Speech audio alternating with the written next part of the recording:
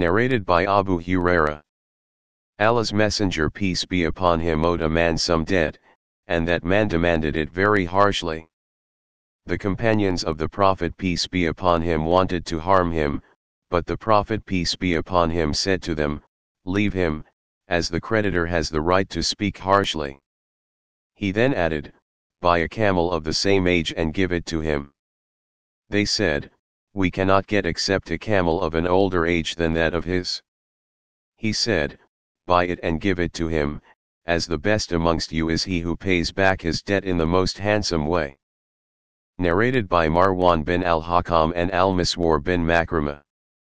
When the delegates of the tribe of Hawazin came to the Prophet peace be upon him they requested him to return their property and their captives.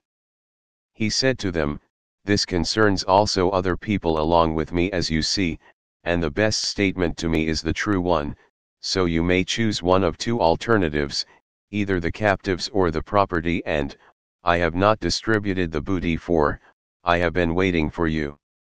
When the Prophet peace be upon him had returned from Taif, he waited for them for more than ten nights. When they came to know that the Prophet peace be upon him would not return except one of the two, they chose their captives.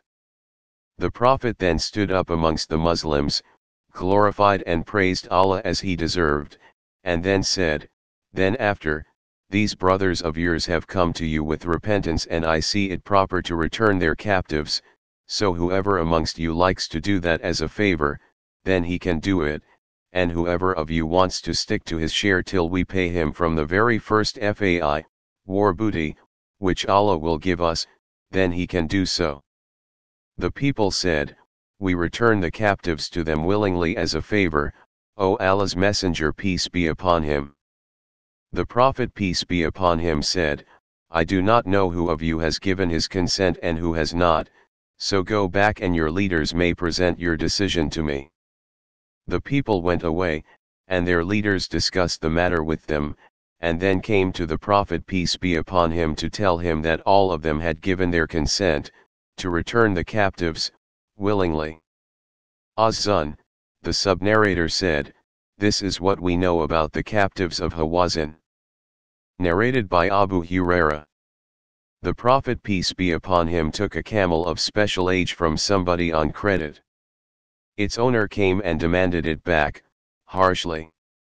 The Prophet peace be upon him said, No doubt, he who has a right, can demand it. Then the Prophet peace be upon him gave him an older camel than his camel and said, The best amongst you is he who repays his debts in the most handsome way. Narrated by Ibn Umar that he was in the company of the Prophet peace be upon him on a journey, riding a troublesome camel belonging to Umar. The camel used to go ahead of the Prophet, so Ibn Umar's father would say, O Abdullah! No one should go ahead of the Prophet.